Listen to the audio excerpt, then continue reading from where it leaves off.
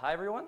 Um, I'm really excited to be here. This is my first JuliaCon, and it's also my uh, first talk. So uh, hopefully you guys will forgive me if I stumble. Um, if you'd like to follow along in the slides, you can go to my GitHub at Cai Michael and um, grab them from there. There are instructions on how to uh, open them. Um, so I work at the Federal Reserve Bank of New York as a senior research analyst on the DSGE team. Uh, and I'll explain what that acronym means in a couple seconds. And uh, before I begin, I just want to say a special thank you to Ed Herbst and Frank Schorfheide uh, for providing some slide content from a previous workshop that they did on one of these methods. So uh, I will be providing the standard disclaimer. Uh, this talk does not reflect uh, the experience. This talk does not uh, reflect a endorsement by the Federal Reserve Bank of New York. Um, all the views expressed are my own and any errors or omissions are also my own. So, sorry? no, no, no, no, non-material. Um, so as an outline, I'll be talking generally about state space models and a package that we've been working on at the Fed called state space routines.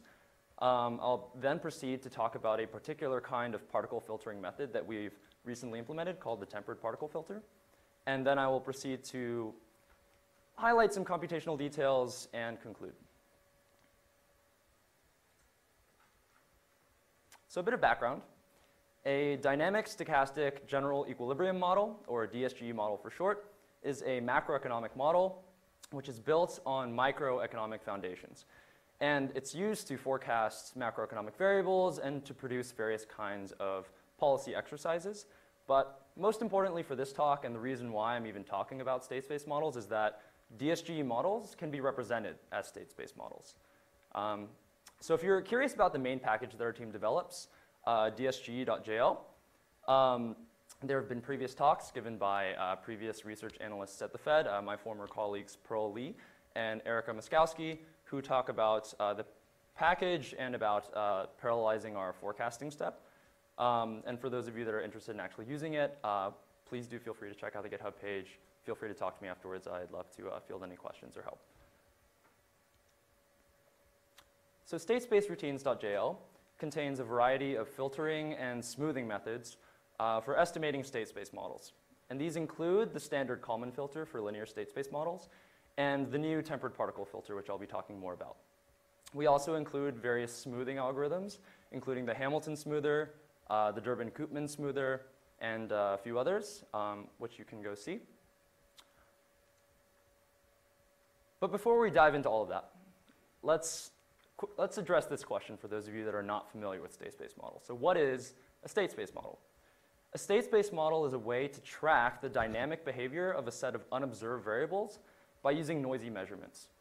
And so this is a very intuitive kind of design for a model. I think one way you can think about it is kind of in this example right here, um, if you're trying to track the position of an unmanned rover on Mars, um, and you're trying to understand kind of where it is at any given point in time, but the only way that you can kind of go about knowing this kind of information is by kind of measuring signals that you'll receive periodically that are subject to noise.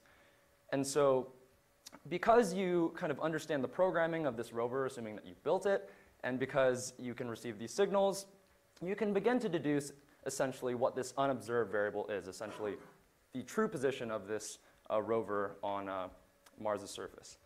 Um, for those of you that have heard the term hidden Markov model, uh, state space models are conceptually precisely a hidden Markov model. So how is a state space model represented?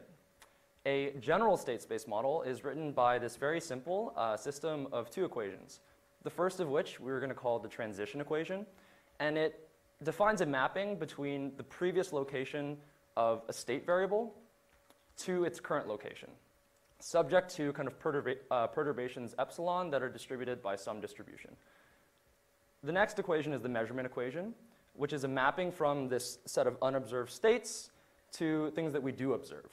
Um, and this is subject to uh, measurement error, as I illustrated in the earlier example. Um, which is distributed to some other distribution f of u. So some examples of what kind of states, observables, shocks, all these things are uh, within our context at the New York Fed uh, is illustrated in the table below. uh, you'll see states are kind of internally represented in the, say, New York Fed DSG model as output growth or inflation. Um, observables are the actual data that we use to kind of discipline the model. So you'll have these series such as the real, uh, real GDP growth or core PCE inflation. You'll have kind of fundamental structural shocks that perturb uh, these state uh, variables at any given point t, such as a productivity shock, and we have time invariant parameters that we're trying to estimate, um, such as the household discount rate. So one question to address, given that this talk is entitled Estimating Nonlinear Models, is why do we care about nonlinear models? I think probably for most of you from other fields, especially in kind of the hard sciences where I, I would say your dynamical systems are much larger and potentially more complicated, um, it's almost a no-brainer that you should be working with some sort of nonlinear model because linear approximations are bad. Um, but by and large, in uh, economics, as it currently stands within specifically the discipline of working with DSG models, um, we tend to work with linear approximations just because they're more tractable. Um, but it's true that most linear models are linear approximations of some true nonlinear model. And sometimes these nonlinearities in models are actually fundamental to explaining their behavior. So if you linearize, you lose all of the interesting kind of information that is provided to you by the nonlinearities. And so some examples of nonlinear models are models in economics that incorporate the zero lower bound constraints on the nominal interest rate.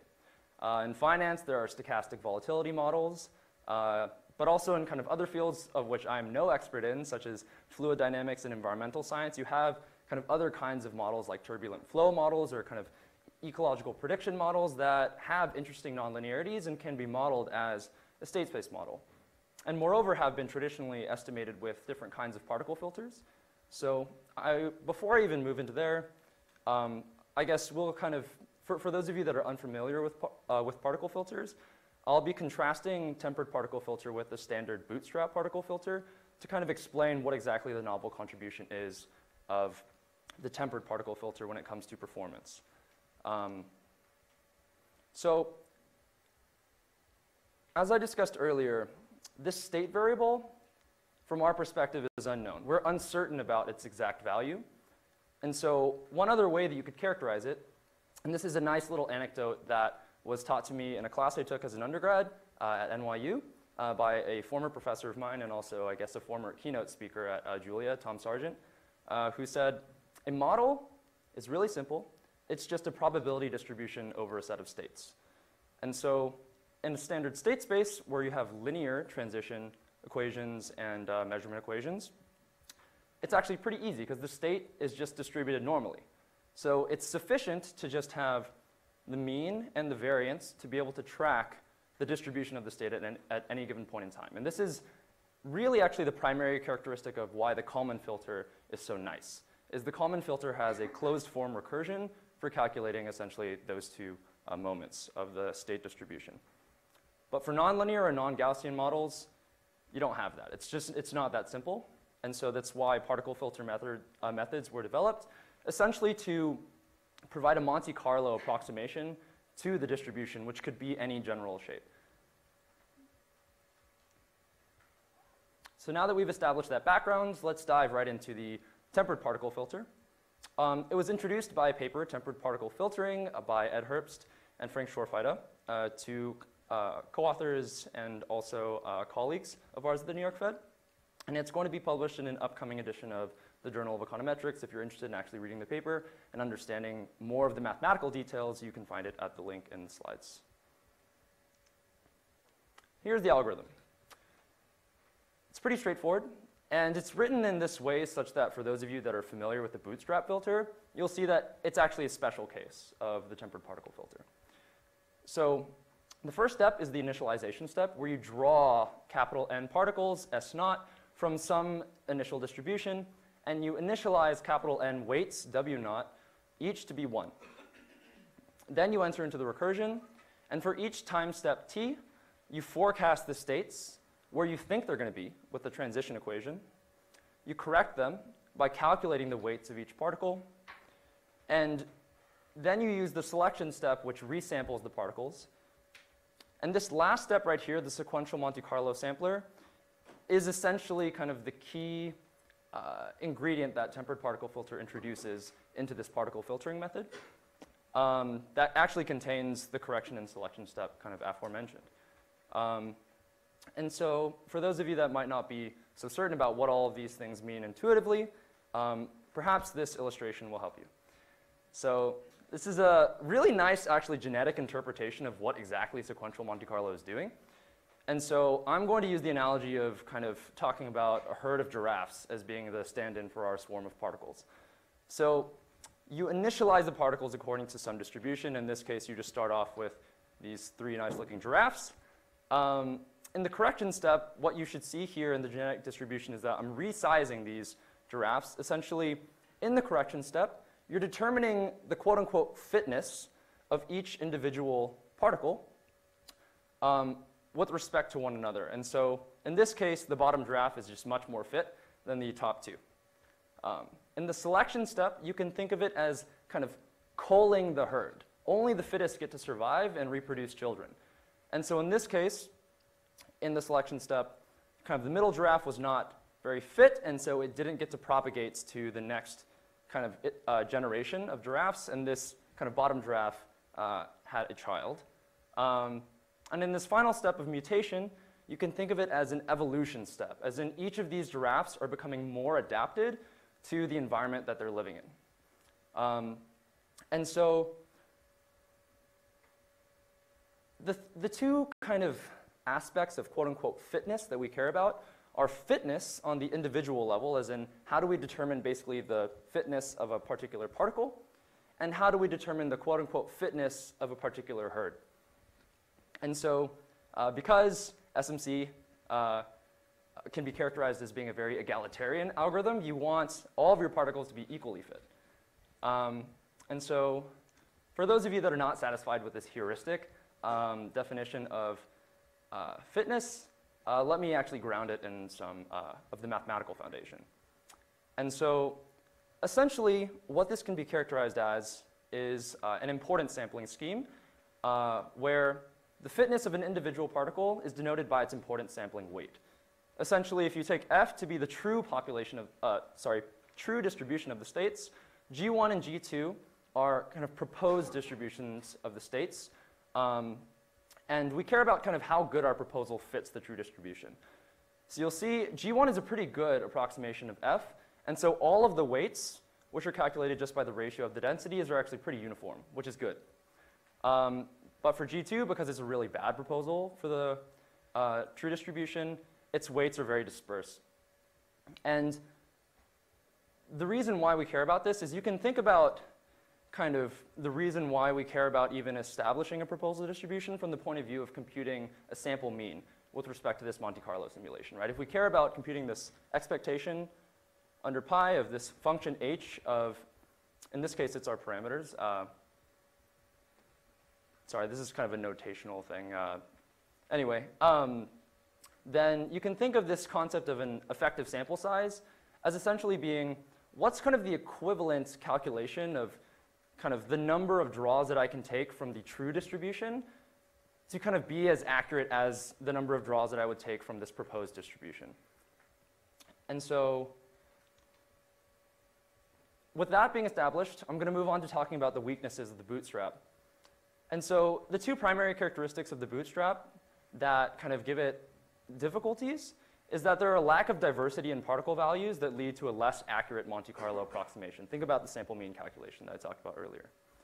And this is also primarily due to the aspect that it has an inability to adapt to periods in which highly unlikely data is realized. So if you look at this set of distributions in the previous slides, or if you'll imagine it with me, if we're in 2008 and we realize Q4 data, which is the first quarter of the recession, um, this is highly unlikely from the perspective of the model, right? And so what's going to happen is this proposed distribution is going to be way off of the true distribution, right? And because of that, you're going to have this huge imbalance in the number of weights. And when you resample, according to some standard resampling scheme like multinomial resampling, you'll end up with very few kind of support weights where there are particles. And so one way that we can address this, and this is the key inside of the tempered particle filter, is that holding all else constant, if you increase the measurement error variance, this decreases the variance of the particle weights. You could think about it as if you distrust your model and you say that you know, most of the variation in the data we're seeing is due to measurement error, then essentially everything is kind of equally likely, right? And so what you can do, um, yeah, and then here's a particular functional form of the weights uh, if your measurement error is normally distributed.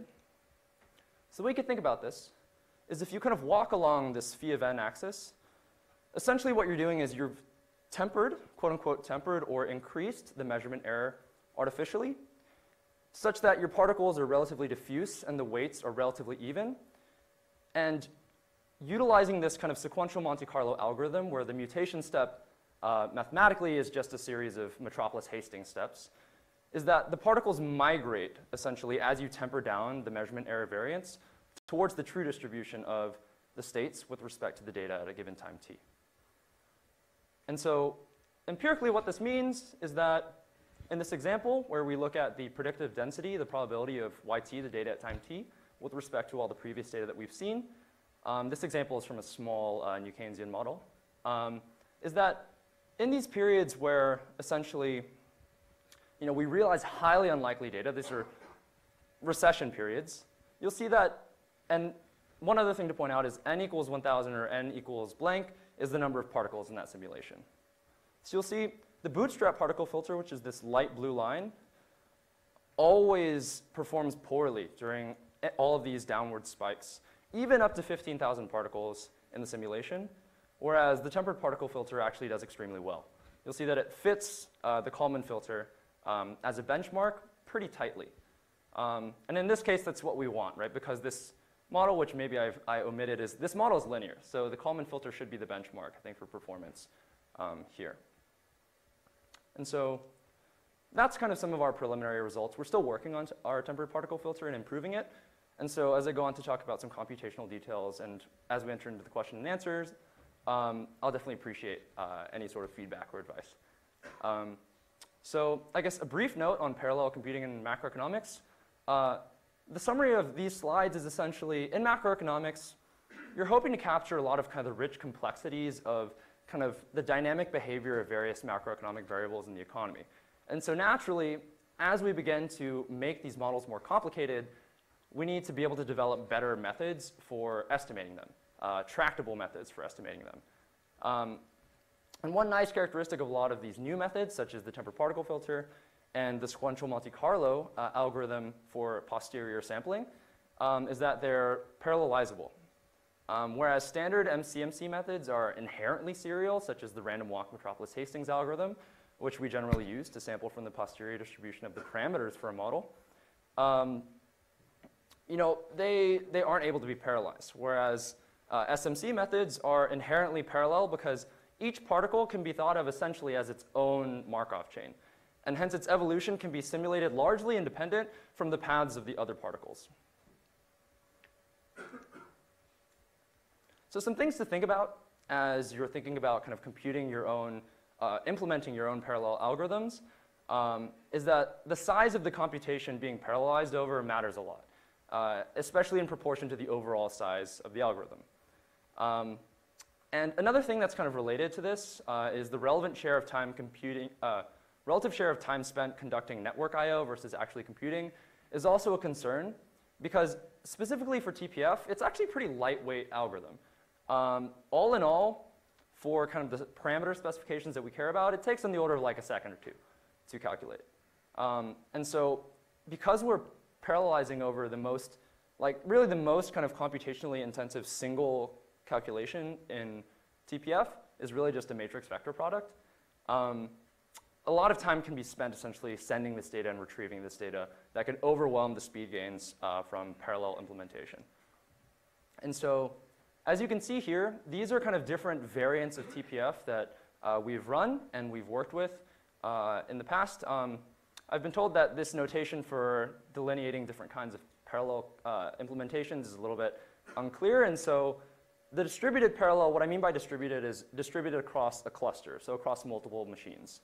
Um, whereas the shared memory parallel is just distributed along cores in the same machine. Um, and so, and serial is just serial.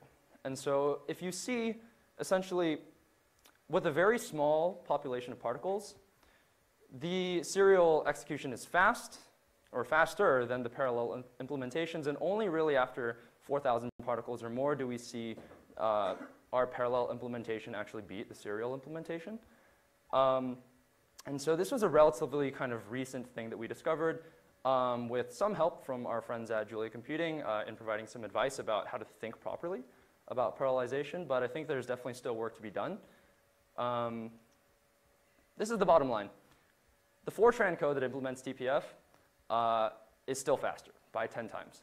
Um, this is not great. Uh, it's better than what we were facing in the past, um, but realistically, by being a filtering method, this is essentially the key computational component of a sampling scheme for DSG models. And so if our filter's slow, the sampling is going to be slow. And so we definitely want to be able to kind of think about and potentially solicit advice as to kind of ways that we can improve thinking about our implementation. Um, so uh, that's essentially it. Um, I know it was pretty brief, and so I'm more than willing to answer questions about the algorithm itself. Um, but uh, just to highlight some ongoing work, so we're continuing to work on the tempered particle filter and the state space routines package, which we hope uh, all of you guys who work with state space models will find useful. Um, also, uh, we're working on sequential Monte Carlo sampling in dsge.jl, which I mentioned earlier. Um, the tagline is it's a parallelized and robust alternative to random walk Metropolis Hastings, or, uh, and it's used to sample from the posterior distribution of the parameters. Um, two ways that these tools can potentially be useful in kind of determining the future of what our work looks like at the New York Fed uh, is in the heterogeneous agent DSG models that we're beginning to estimate. Um, essentially, the relevant point to mention about heterogeneous agent models uh, is that the computational tractability of these models is order of magnitudes kind of more difficult to work with. Uh, and so we kind of need these tools essentially to uh, be able to feasibly estimate these models. So we've currently implemented in discrete and continuous time uh, implementations of the Krusell-Smith uh, model, which is a fairly simple uh, heterogeneous agent DSG model. And we've implemented a continuous time implementation of the one asset Hank model. Um, if you're familiar with the economics literature, it's in kind of the same flavor as a uh, upcoming paper in the AER. I believe it's yet to be published, but I may be wrong, by Ben Moll et al. Uh, and a few other co-authors at Princeton. Um, and so for some acknowledgments, um, I'd like to thank the uh, New York Fed DSG team, Marco Del Negro, uh, my boss, and Ethan Matlin and Reca Sarfati, my fellow DSG research analysts. And also, I'd like to acknowledge our DSG alums, Pearl Li, uh, former JuliaCon speaker, and Abhi Gupta. Uh, good luck in graduate school. Um, very, very uh, proud of you guys. And that is essentially it. Thank you so much.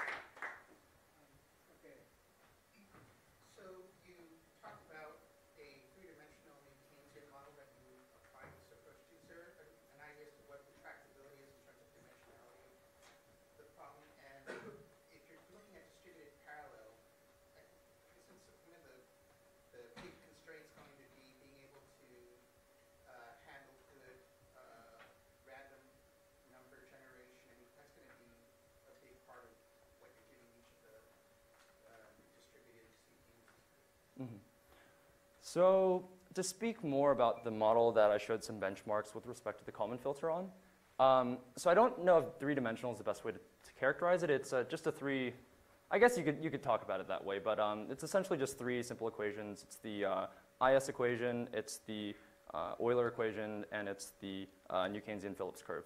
Um, and it's, it's, it's really actually, I think, the most granular distillation of what the core kind of components of a DSG model are. Um, in terms of what that means practically for this kind of estimation method or for estimation methods broadly speaking, um, I guess the number of, yeah, I guess that is a way to think about it, the, the, dimensionality. So those equations determine the number of states in the system that we're estimating. So uh, yes, so three states. Um, and, and that's considered fairly small. Our New York Fed DSG model is something on the order of uh, oh boy, I should know this. It's around maybe 80 states or so, uh, 80 or 90 states, and they're about like a similar neighborhood of the number of parameters that we're estimating in the model.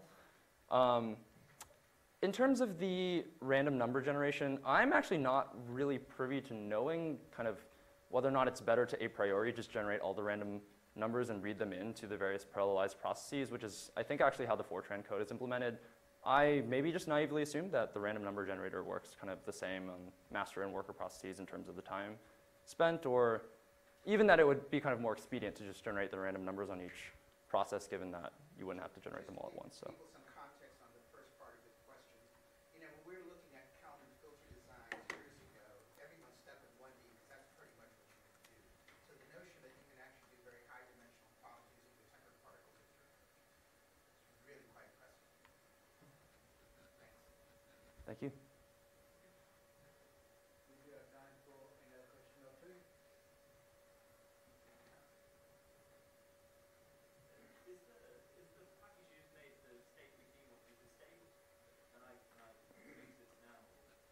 Um, it should be. So, yeah, so I mean, if you actually look at the package, there's this glaring build failing button uh, in the README. Um, and the reason for it actually is something that we haven't gotten around to dealing with. So when it actually uh, kind of sends out the commit Travis CI to essentially run the builds and check uh, all the tests, um, there's a build failure on the HDF5 package that I've kind of yet to figure out why this is happening.